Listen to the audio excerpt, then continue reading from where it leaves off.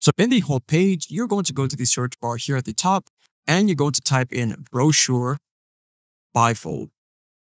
So then here we have a list of designs in which you can choose from. So as you can see here, one of two, it shows us that there's a maximum of two pages for each design.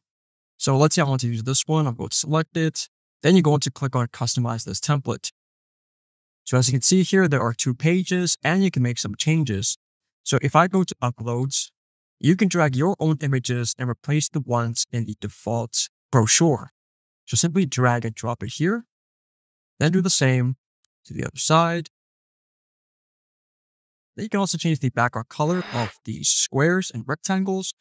So you're going to click on it and it's going to show this purple line. Then go to the top here where the circle is and you can change the color to a different one. And based on your images, it's going to show you the different colors which match the aesthetic. Since there's a lot of green, there's lots of green options in which you can choose from.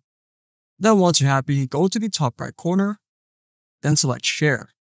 Then go to download, and then instead of PNG, you're going to select PDF standard. And then select download.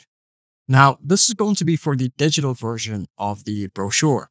But if you're going to print it, then you're going to have to change the file type to PDF print.